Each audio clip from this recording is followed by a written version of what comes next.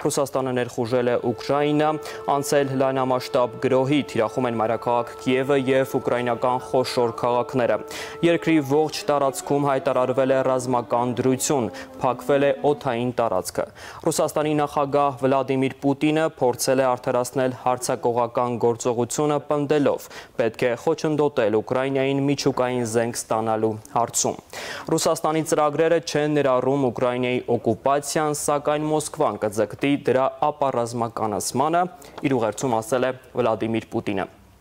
Թեմայի առնչությամբ ես կապ եմ հաստատելու Միացյալ Նահանգներ, զրուցելու եմ վերլուծաբան Արմեն Չիբուխչյանի հետ, ում սիրով ողջունում եմ, բարև ձեզ պարոն Չիբուխչյան, դուք ինձ լսում եք։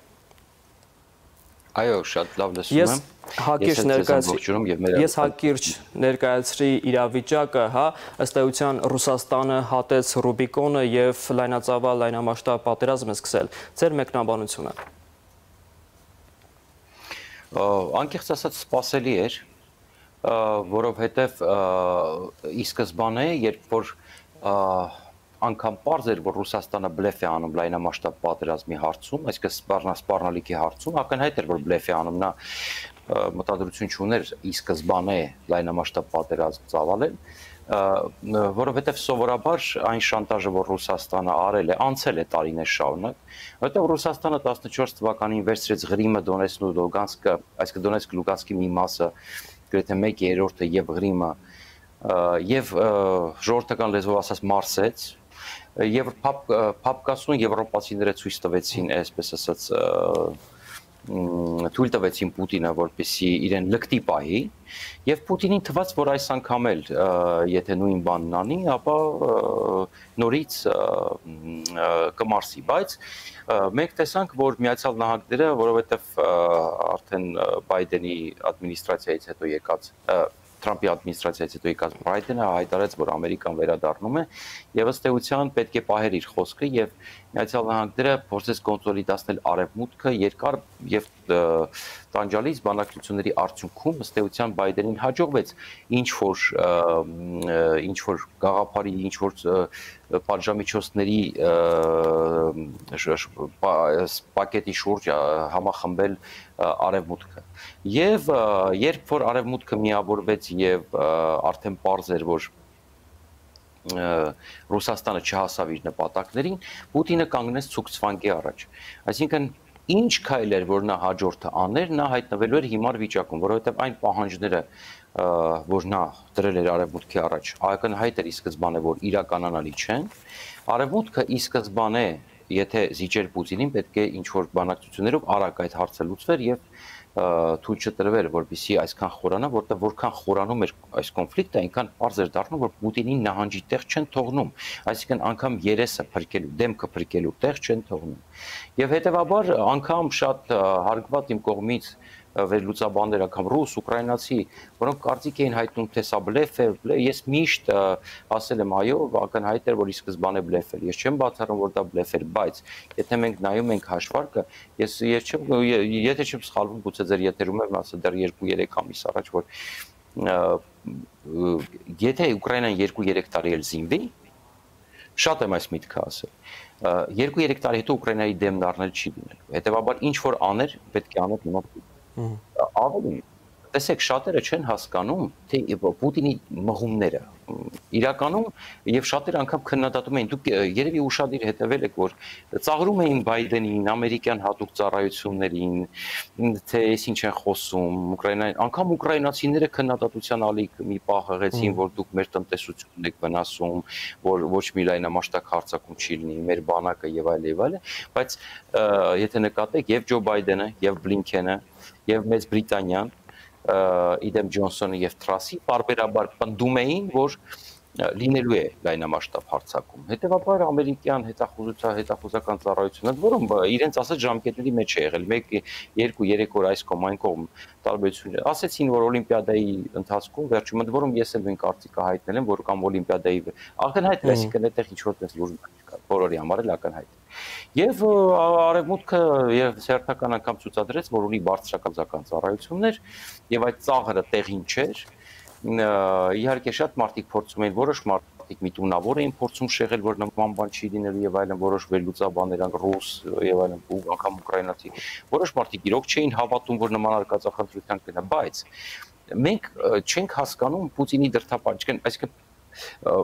մենք ասած շատ շատերը պետություններ, երկրի ղեկավարներ,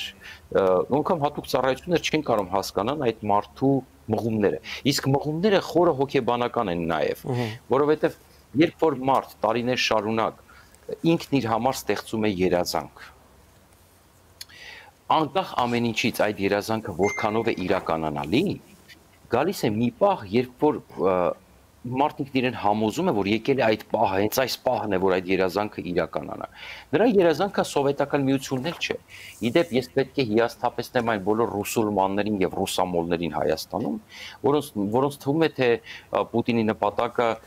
սովետական միության վերականգնումն է եւ հրճվում են այդ գաղափարով։ Ոչ, Պուտինի նպատակը ռուսական իմպերիայի վերականգնումն է, եւ այդ մասին նա բազմիցս ասել է։ Անկամ ասել է, որ այդ սովետական միության անունը նա չի հասկանում ինչի բերեցին, կպցրեցին ըստ էության դա ռուսական իմպերիա էր եւ այլն, հա։ Նա չէր հասկանում ընդհանրապես սովետական միության։ Իր համար սովետական միությունը դա ռուսական իմպերիա է։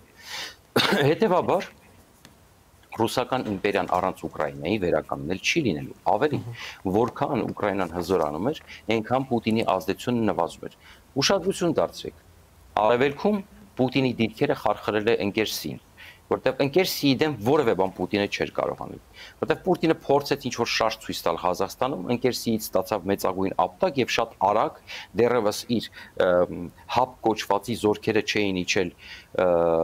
եւ զենքերը չէին դատարկել Ղազախստանում, ընկեր Սիի պահանջով շատ արագ Ցիցինպինի պահանջով լքեցին Ղազախստանը։ Չէ՞ որ մենք շատ լավ գիտենք, որ Ռուսաստանը չի մտնում որևէ երկիր զորք չի տանում, որ շատ արագ հեռանա։ Չէ՞ որ մենք շատ լավ հասկանում ենք, որ այդ զորք տանելը ծախս է։ Դու հայկական զորքերն էլ ես կարծում եմ, որ Ռուսակ Ռուսաստանի հաշվին են տեղափոխվել։ Այսինքն նույն հապ երկրների բոլոր զորքերը կարծում եմ ռուսական ինքնաթիռներով են տեղափոխվել շատերը եւ այլն, որտեղ այդ տեխնիկան շատ շատերը չունեն տեղափոխելու միջոցներ, ծանր տեխնիկա եւ այլն, հա։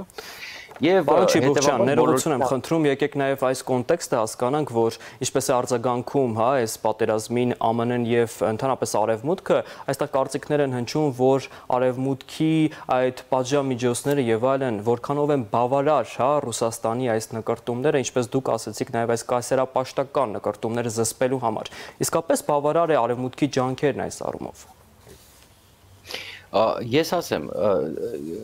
ես օրինակ ի տարբերություն շատ շատերի ես երևի եզակի մարդկանց այսինքն ես նման կարծիք դեռ չեմ լսել բայց ես համարցակություն կունենամ ձեր եթերով կասեմ ես խորը կասկածներ ունեմ որ կարող է գալ մի պահ որ արևմուտքը անգամ միջամտի պատերազմի հատկապես ես խորը կասկածներ ունեմ օրինակ վերցնենք տեսական դեպքեր եթե օրինակի համար այդ պատերազմը շատ մոտենա իրենց ՆԱՏՕ-ի դաշնակից երկրներից մեկի սահմանը Եթե փորձեն ծովային, այսինքն նավատորմը օգտագործել ռուսները եւ որտեվ այդ Սևծովյան տարածաշրջանը այնտեղ մենակ Ռուսաստանի շահերը չեն այդտեղ բավականին շատ երկրներ կան, որոնք հետաքրքրված են եւ ես ենթադրում եմ, որ Սիբրիզ ծովային զորավարժությունները, որոնք 36 երկրների մասնակցությամբ տեղի ունեցան ամառը, ես կարծում դա պատահական չէր եւ նույնպես կհամարցակվեմ նման կանխատեսում հայտնել, որ զգուշավոր ասեմ, չեմ բացառում, որ եթե ծովային օպերացիա լինի կամ նավատորմ ամբողջ Ռուսաստանը գործարկի կամ ՆԱՏՕ-ի սահմաններին շատ մոտենա, Ես չեմ բացառում, որ լինելու են նաև կարող է սա վերածվել ընդհանրապես երրորդ համաշխարհային պատերազմի, անկամ եթե երրորդ համաշխարհին է չէ, ապա այսպես ասեմ, կհիշեք Ղրիմի պատերազմը եթե չեմ սխալվում 1853-56 թվականների, երբ որ արևմտյան տերությունները միավորվեցին եւ ջախջախեցին ռուսական նավատորմը եւ գրավեցին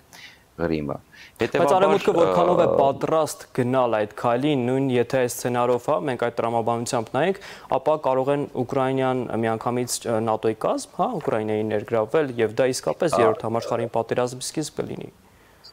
Դե այս պահին ես չեմ կարծում, որ այս պահին ՆԱՏՕ-ի կազմ կթունեն Ուկրաինային, սա այս այս խոսակցությունները հիմա իմաստ չունեն, որովհետև դուք եք հասկանում, որ ոչինչ դա այս պահին չի տալու Ուկրաինային արևմուտքի ջանքերը ես ասեմ, եթե բոլոր այն պատժամիջոցները, որոնք հայտարարվել են նախորոք, բոլորը կիրառվեն, ընդ որում նավթային եւ գազային էմբարգոն այս ամեն ինչում ամենակարևորն է եւ Ռուսաստանի միջազգային ֆինանսական եւ բանկային համակարգից անջատելը SWIFT կոչվածից եւ նաեւ ամբողջ այդ ռուսական միլիարդի վրա կալանք տնելը, գիտեք երևի լսել եք ռուսական տրիլիոնի, ներեցեք, ներեցեք, ռուսական տրիլիոնի, այսինքն այն բոլոր գումարները, որոնք ռուսական պաշտոնյաները, մենք տեսանք արդեն, որ Մեծ Բրիտանիան Տիմչենկոյի եւ երկու Ռոտենբերգների նկատմամբ կիրառեց պատժամիջոցներ եւ նաեւ տեսանք, որ արդեն պատժամիջոցներ էին խոստացել, բայց հիմա եւ հյուսիսային հոսքը դադարեցվեց եւ սա այս բոլորը խփում են Ռուսաստանին։ Ավելին ասեմ, ցավալի բայց այս բոլորը շատ ուժեղ խփելու է նաեւ Հայաստան ես ցավում եմ, բայց մեր ժողովուրդը պետք է հիմա գիտակցի եւ տոկուն մնա եւ հասկանա, որ Հայաստանում հիմա այս պահին ներքաղաքական որևէ ցնցումներ սոցիալական հողի վրա թույլ տալ չի կարելի։ Ես պետք է մի մի շատ կարևոր բան եմ ուզում ասել, որպեսզի չմոռանամ հիմա ասել։ Ես ուզում եմ ասել այն մարդկանց, ովքեր հասկանում են կամ չգիտեմ, կամ չեն հասկանում, կապ չունի, ինչ է կատարվում Ուրեմն Հայաստանին սա շատ ուղիղ է վերաբերում, շատ ուղիղ։ Եթե Ուկրաինան պարտվեց,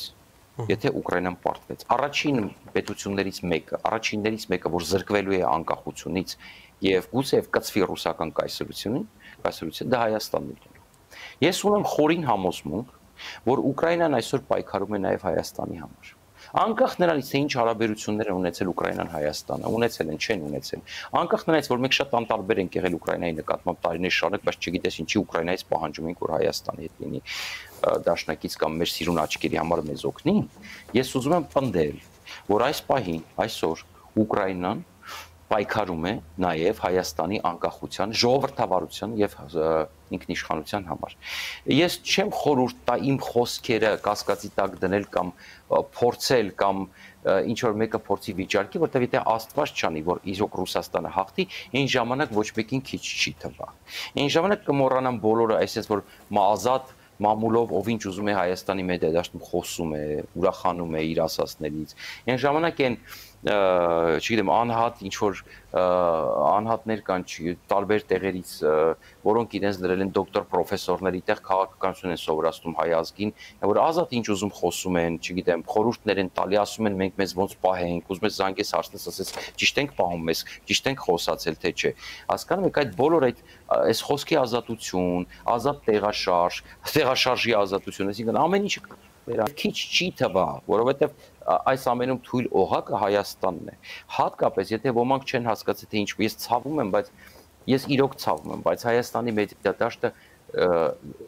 շատ անգամ Հայաստանին վերաբերող իրադարձությունները ամբողջ խորությամբ չի լուսաբանում։ Ես չնկատեցի, որ Հայաստանում հասկացել են, թե ինչ պայմանագիր է ստորագրել Պուտինն ու Ալիևը։ Չկա այդ գիտակցում։ Պուտինն ու Ալիևը ստորագրել են հակահայկական Եթե ոչ ուղակի, ապա անուղակի դա շատ ուղակի է հակը հայկական պայմանագիր է որի հետևանքները աստված չանի եթե ռուսաստանը հաղթեց եւ ռուսաստանը հզորացավ սա հերթական 1921 թվի այլ այլ իմպրովիզացիա է ադրբեջանի հետ այս անգամ ես վստահեցնում եմ ձեզ այս պայմանագրի հետևանքով եթե Ռուսաստանը ունենա հնարավորություն Ադրբեջանի հետ հերթական անգամ հակահայկական ինչ որ գործարքի իրականացվելու եւ ես չեմ բացառում որ հենց Սյունիքի հետ կապված որտեղ եթե հիմա արևմուտքը պարտվեց եթե մինչև այդ ես պնդում եի որ Սյունիքը պահում է արևմուտքը եւ մի փոքր էլ Իրանը բայց ես վստահեցնում եմ ձեզ Իրանը չի կարող գնալ ռուս-թուրք ադրբեջանական ուժերի դեմ եւ չի էլ գնա ինչքան էլ որ նրանք ասում են դա մեզ համար կարմիր գիծ է Իրանը չի պատերազմելու նրանց հետ Եվ ես վստահեցնում եմ, այն սարսափելի Դամոկլեան սուրը, որ հիմա կախված է Հայաստանի գլխին, ուղիղ այս ես պնդում եմ այս պատերազմը, այս պատերազմից ճակատագրից կախված է նաև Հայաստանի ճակատագիրը։ Պարոն Չիբուխչյան, եւ ամփոփելով, հա։ կներեք մի բան էլ ասեմ, ես արդեն հետևում եմ, մի բան էլ ասեմ, ես արդեն հետևում եմ ուկրաինական իրադարձություններին, CNN-ում հետևում, BBC-ում հետևում, հետևում եմ հայկական լրատվամիջոցների։ Ես չգիտեմ ինչի օգտվում են ռուսական տելեգրամյան խուլիգան ալիքների տեղեկատվությունից, չճշտված տեղեկություններից, բնականաբար, գիտեք, ինչ տարական բան է։ Ռուսաստանը պատերազմը սկսելուց առաջ արդեն սկսել էր կիբերհարցակումներ եւ մեդիա գրով։ Պատերազմում ամենակարևոր տարը դա մեդիա ինֆորմացիոն պատերազմն է, որովհետեւ եթե հաջողվում է հենց առաջին րոպեներից պատերազմի ինֆորմացիոն հաղթանակ տանել, ինֆորմացիոն գրոհ իրականացնել, խոճապ առաջացնել ուկրաինական քաղաքներում եւ այլն։ Ես չեմ բացառում, որ այդ ինֆորմացիայի մի մասը ճիշտ է, բայց օրինակ, տեսեք, չգիտեմ, արդեն կադրեր կան կամ տեղեկություններ կան այն որոնք ռուսական տելեգրամյան ալիքները ինչ որ տալիս են եւ արդեն ինձ համար կասկածել։ Ես նույն տեղեկությունը փորձում եմ ստուգել, որտեղ CNN-ն ունի այնտեղ աշխատող ռազմական լրագրողներ, BBC-ն էլ ունի այնտեղ աշխատող եւ այլն։ Բայց ես չեմ կարողանում ամերիկյան լրատվամիջոցներից ստանալ այդ տեղեկությունը։ Այսինքն այն տեղեկությունները, որ ռուսական տելեգրամյան ալիքները տալիս են, դրանց անգամ 10%-ը չի հաստատվում արևմտյան մամուլի կողմից։ Ես չեմ խոսում ուկրաինականի կողմից։ Արդեն մի քանիսը ուկրաինական մամուլը հերքել է։ Գուցե մի քանի ժամից հաստատվեն, բայց ես կուզենամ, որպեսզի որպեսի կուզենամ տեսնել Հայաստանում լրատվական դաշտ, որը կլինի շատ հավասարակշռված, զերծ կմնա տելեգրամյան տելեգրամյան ալիքները ինչ որ մասնավոր անձանց կամ չգիտեմ ռուսական տելեգրամյան ալիքներից միակողմանի տեղեկատվության տրամադրումը, որովհետև Հայաստանի հասարակության մոտ սխալ տեղեկություն։ Օրինակ, պատերազմը չսկսված արդեն ասում են Խարկով, կարող գուցե վերցրել են, ես չեմ առարկում, կարող է եւ Խարկովը գրավել են բայց ես հիմա փորձում եմ քանի տեղ ճշտել անգամ Ուկրաինայում ասում են մենք նման տեղեկություն չունենք 39 րոպե առաջ CNN-ը լուր է դրել 40 րոպե առաջ, որ Խարկովի քաղաքապետը ասում է, որ տրանսպորտը աշխատում է եւ կոչ է անում բնակչությանը չլքել։ Դա այստեղ հետաքրքիր է եւ եւ նորմալ է, երբ որ տեղեկատվական պատերազմ է լինում, դուք էլ նշեցիք, չէ, որ այդ հիբրիդային պատերազմը վաղուց է մղում թե Ռուսաստանը, թե նաեւ Արևմուտքը, հա, այդ մասին էլ խոսենք։ Բայց դուք իհարկե ճիշտ եք ասում, երբ որ կոչ եք անում հայկական լրատվադաշտին ավելի պրակտիկ գործել, ավելի ճիշտ կողմնորոշվել, բայց պարոն Չիբուխչյան, մենք 44 օրյա պատերազմի պրակտիկան ունենք մեր աչքի առջև եւ նույնիսկ այդ դեպքում, երբ որ խնդիրը ավելի կոնկրետ մեզ էր վերաբերվում, մենք նույնիսկ չէինք խոսում, նկատի ունեմ լրատվադաշտը ադրբեջանական տիրույթից եկած ինֆորմացիային անդրադառնալ եւ նաեւ պարոն Չիբուխչյան թեման ամփոփելով ստացվում է, որ եթե այս պատերազմում Ռուսաստանը հաղթի, այսպես պայմանական ասած եւ իր կայսերապաշտական կամ ոմանք ասում են սովետ 2-ի վերակառուցման իղձերը իրականություն դարձնի, դա ըստ էության սպառնալիք է ուղիղ Հայաստանի քնիշխանությանը։ Այս պարագայում դուք գիտեք, որ Հայաստանի արտգործնախարարությունը այս իրադարձությունների վերաբերյալ բավական չեզոք, հա, դիրքերից էր հաղորդագրություն տարածել, ասելով, որ Լուգանսկի եւ Դոնասկի անկախության ճանաչման հարց մեր օրակարգում չկա եւ Հայաստանը ընդհանրապես կողմ է խաղաղության եւ Ուկրաինայում այստեղ Հայաստանում Ուկրաինայի ներկայացուցիչը ողջունել էր այդ հայտարարությունը։ Ճիշտ է Հայաստանի քաղաքականությունը այս մասով այս չեզոքության չեզոքության պայմաններում եւ դիրքերից։ Գիտեք, Հայաստանի պարագայում այո, մենք պետք է մի փոքր զգուշավոր լինենք, բայց բայց կան արժեքներ։ Մենք ժողովրդավարական երկիր ենք, չէ՞ մեզ համար։ Սա խայտարակ ոտնձգություն է համամարտկային արժեքների եւ ժողովրդավարության նկատմամբ խայտարակ սա լկտիագույն ոտնձգություն ես այդպեսի բառ չկամ իսկ այսպես չգիտեմ ինչպես բնութագրեմ բառեր եմ մանգալի որ ես էլ եմ ճիշտ ասած մի փոքր որտեվ գիտեք ինչ բացի այն որ ես ուկրաինայում ունեմ ընկերներ եւ հիմա մի փոքր անհանգիստ եմ նրանց համար եւ բարեկամներ բայց ուրիշ հանգամանք էլ կա ես հիմա ավելի շատ անհանգիստ եմ Հայաստանի համար որտեվ շատերը չեն հասկանում իրականում ինչ հետևանքներ է սա ունենալու Հայաստանի համար Բացի տնտեսականից, որ ակնհայտ է արդեն։ Որ ժամանակին ասում ենք բոլոր ձվերը մի զամբյուղի մեջ մի դրեք, դիվերսիֆիկացրեք ձեր արտաքին քաղաքականությունը։ Հիմա գիտեք ամեն ինչի պատասխանը ես միշտ ասում եմ, ոչ մի բան անպատասխան չի մնում ցանկացած քայլ գործողություն, երբ որ մարդը անում է, նույնն էլ պետությանն է վերաբերում։ Մի օր գալիս է եւ շրջվում է իր դեմ։ Հիմա դուք ճիշտ եք, ես գովելի է ինչ որ առումով գովելի է գովելի է Հայաստանի արտգործնախարարության չեզոք դիրքորոշումը բայց ես լսեցի նոր Սուրեն Պապիկյանը մեկնում է Մոսկվա ես չգիտեմ ռուսները ինչ կարող են կորզել Հայաստանի իշխանություններից ինչ հայտարարություններ բայց գիտեք ճիշտը դատապարտելն է ճիշտը դատապարտելն է որովհետև սա ոտնձգություն է այն արժեքների վրա որը հիմա փորձում է դավանել Հայաստանը Եվ Նաև նաև ես կուզեմ նորից եւս մեծ անգամ շեշտել, երևի այսօր հնարավորություն չի լինի այդ վտանգների մասին խոսել, բայց ես խորհուրդ եմ տալիս շատ շատերին ես նաև անդրադարձել եմ արդեն այստեղին վերլուծական ծրագրում, այդ վտանգներին, ես խորհուրդ կտամ մի հատ բացել եւ կարդալ պայմանագրի հա, Ադրբեջանը 43 կետ է։ Իհարկե այնտեղ մի քանի կետ մեզ հետաքրքիր չի, բայց այնտեղ կետեր կան, որ մեզ շատ հետաքրքիր եւ շատ հետաքրքիր տողատակեր կան։ Եվ ես խոր եւ քանի որ անգամ մինչեւ դաշնակցային հարաբերություններ ունենալու Ադրբեջանի հետ Ռուսաստանը պաշտպանում էր Ադրբեջանի շահերը, ինչի մասին բազմից ենք խոսացել։ Դուք պատկերացնում եք հիմա նախ առաջին հերթին երևի դուք տվել առաջին կետով հենց Ռուսաստանը ճանաչում է Ադրբեջանի տարածքային ամբողջականությունը եւ հենց պատրաստ է կանխել ցանկացած վտանգ, որը սպառնում է Ադրբեջանի տարածքային ամբողջականությանը։ Ես ամենաթեթև կետը ասեցի։ Ես հույս ունեմ, որ մենք առաջիկայում այդ թեմայի վերաբերյալ առանձին հարցազրույց կունենանք։ Շնորհակալ եմ կապ հաստատելու համար, պարոն Չիբուխյան։ Ես մեր հերոստատիտողներին հիշեցնեմ, որ կապ էի հաստատել Միացյալ Նահանգներ, զրուցում էի վերլուծաբան Արմեն Չիբուխյանի հետ։